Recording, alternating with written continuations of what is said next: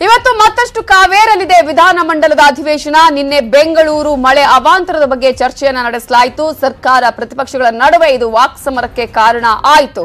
ಭ್ರಷ್ಟಾಚಾರದ ಅಸ್ತ್ರ ಪ್ರಯೋಗಕ್ಕೂ ಕೂಡ ಈಗ ಕಾಂಗ್ರೆಸ್ ತೀರ್ಮಾನವನ್ನ ಮಾಡಿದೆ.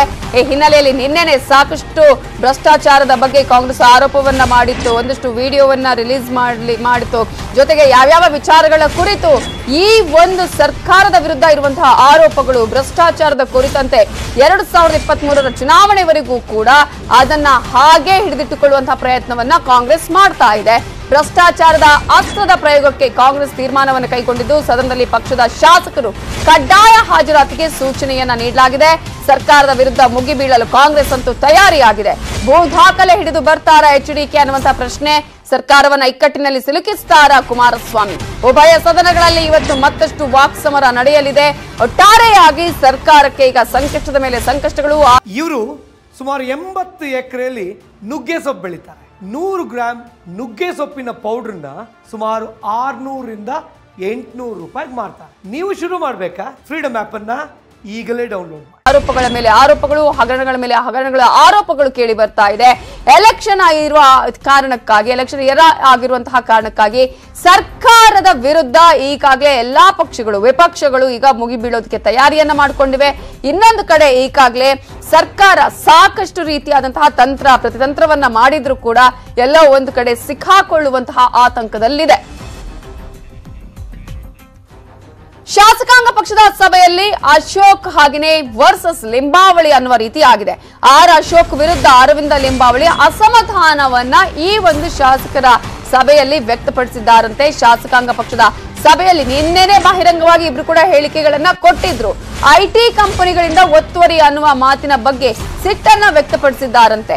ಒತ್ತುವರಿ ಮಾಡಿದ್ದು ಬಿಲ್ಡರ್ಗಳೇ ಹೊರತು ಕಂಪನಿಗಳಲ್ಲ ಅನ್ನುವಂತ ಹೇಳಿಕೆಯನ್ನ ಲಿಂಬಾವಳಿ ಹೇಳಿದ್ರು. ಮಾಧ್ಯಮಗಳ ಮುಂದೆ ಕೂಡ ಹೇಳಿದ್ರು. ನನ್ನ ಕ್ಷೇತ್ರದ ಒತ್ತುವರಿ ಬಗ್ಗೆ ನೀವು ಹೇಳಿಕೆ ಕೊಟ್ರೆ ಹೇಗೆ? ಅಂತ ಹೇಳಿ ಅರವಿಂದ ಲಿಂಬಾವಳಿ ಅವರು ಪ್ರಶ್ನೆ ಮಾಡಿದ್ದಾರೆ.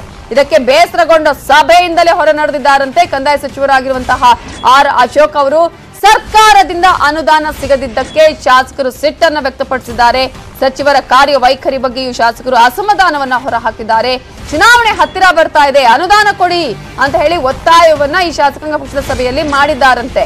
ಹಿಂದುಳಿದ ವರ್ಗಗಳ ಕಡೆಗಣನೆ ಅಂತ ಎಚ್. ವಿಶ್ವನಾಥ್ ಅಸಮಾಧಾನ ವ್ಯಕ್ತಪಡಿಸಿದ್ದಾರಂತೆ. ಚುನಾವಣೆಯಲ್ಲಿ ನಮಗೆ ಹೊಡೆತ ಬೀಳಲಿದೆ ಅಂತ ವಿಶ್ವನಾಥ್ ಸಿಟ್ಟು ಹೊರ ಹಾಕಿದ್ದು ಸಚಿವ ಸ್ಥಾನ ಸಿಗದಿದ್ದಕ್ಕೆ ಕೆಎಸ್ ಈಶ್ವರಪ್ಪ, ರಮೇಶ್ ಜಾರಕಿಹೊಳಿ ಗೈರಾಗಿದ್ದಾರೆ. ಇನ್ನು ಸಚಿವ ಸ್ಥಾನದ ಆಕಾಂಕ್ಷಿಗಳು ನಿನ್ನೆ ಶಾಸಕಾಂಗ ಪಕ್ಷದ ಸಭೆಗೆ ಗೈರಾಗಿದ್ರು. ರೇಣುಕಾಚಾರ್ಯ ಸೇರಿದಂತೆ ಇಪ್ಪತ್ತಕ್ಕೂ ಹೆಚ್ಚು ಶಾಸಕರು ಗೈರಾಗಿದ್ದು, ನಾಯಕರಿಂದ ಅಂತರವನ್ನ ಕಾಯ್ದುಕೊಂಡಿದ್ದಾರೆ ಆಕಾಂಕ್ಷಿಗಳು.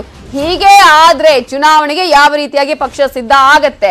ಈಗಾಗಲೇ ಅಸಮಾಧಾನ ಬುಗಿಲೆದ್ದಿದೆ ಬೇರೆ ಎಲ್ಲೂ ಬೇಡ. ಬೇರೆ ಪಕ್ಷದವರು ಆರೋಪ ಮಾಡೋದು, ಟೀಕೆ ಮಾಡೋದು, ಯಾವುದೇ ರೀತಿಯ ದಾಖಲೆ ಬಿಡುಗಡೆ ಮಾಡೋದೇ ಬೇಡ. ಯಾಕಂದ್ರೆ ಇವರ ನಡುವಿನ ಸಮನ್ವಯತೆ ಇಲ್ಲ. ಇವರಲ್ಲೇ ಅಸಮಾಧಾನ ಇದೆ. ಒಂದಷ್ಟು ಆಕ್ರೋಶಗಳಿದೆ. ತಮ್ಮ ತಮ್ಮಲ್ಲೇ ಆಕ್ರೋಶ ಇರುವಂತಹ ಹಿನ್ನೆಲೆಯಲ್ಲಿ.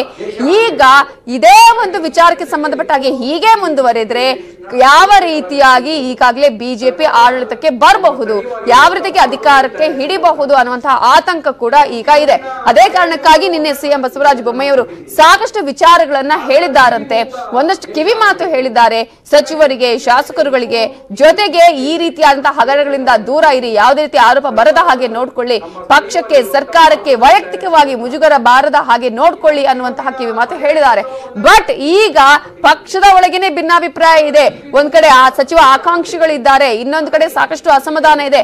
ತಮ್ಮ ತಮ್ಮ ಶಾಸಕರುಗಳ ನಡುವೆ, ಸಚಿವರುಗಳ ನಡುವೆನೆ ಸಮನ್ವಯತೆಯ ಕೊರತೆ ಇದೆ. ಇಂತಹ ಸಂದರ್ಭದಲ್ಲಿ ಈಗ ಸರ್ಕಾರ ಯಾವ ರೀತಿಯಾಗಿ ಇದನ್ನ ಎಲ್ಲರನ್ನ ಒಟ್ಟುಗೂಡಿಸಿಕೊಂಡು ಹೋಗಬೇಕು? ಕೇವಲ ವಿಪಕ್ಷಗಳನ್ನು ಮಾತ್ರ ಅಲ್ಲ, ತಮ್ಮವರನ್ನ ಸಮಾಧಾನ ಮಾಡುವಂತಹ ಪ್ರಯತ್ನಗಳು ಕೂಡ ಇಲ್ಲಿ ಆಗಬೇಕಾಗಿದೆ. ಸರ್ಕಾರ